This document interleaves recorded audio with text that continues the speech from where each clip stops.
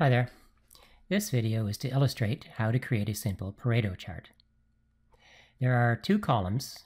In this example, there are reasons for failure and the collected number of incidents. Step one is to highlight the fields and sort the data. Go to the Data tab, sort by number of instance, largest to smallest and click OK. And now the data is sorted. In step two, I add a total for the number of incidents. I use the AutoSum function and calculate the total, which is 305.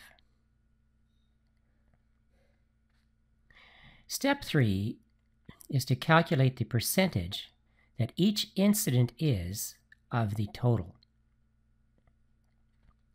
In order to do this, I take the number of incidents and divide by 305, which is the value of the total number of incidents.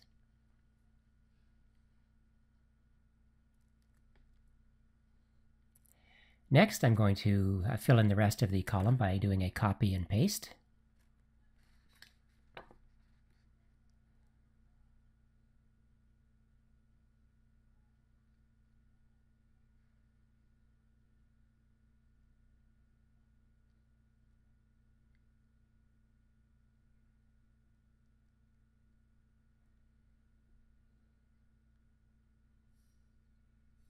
And step four is a simple one. I format the cells that I'm going to use. So for the three columns, I format a number to two places. As you can see, I've highlighted the three columns. And uh, this is the percentage values as per the column heading.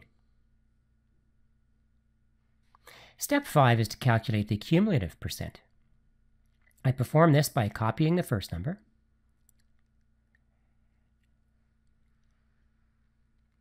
Then for the second number, it is the first number added to the next number in the order. And again, I will copy and paste to fill the rest of the column.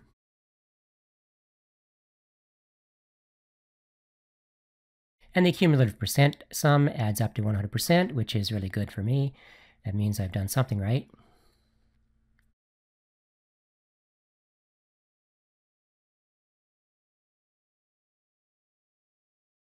Step 6 is a way I use to keep everything clean. I copy and paste those cumulative percent values into the column beside the number of incidents.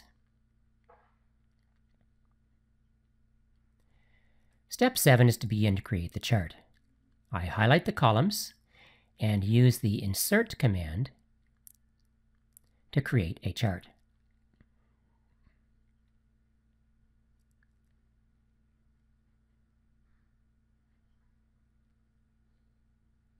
The next step is a critical one, and that is to select the Series 2 data. So you right-click on one of the red bars that represents the cumulative percentage column, and change the series type to a line chart. Select line chart. OK. And now my columns that were cumulative percentage become a line, and that is my basic Pareto. So I can add a title, and we see the incidents are the columns, and the cumulative percentage results are the line. When you click on a marker, it will tell you uh, the values. I've added a title here.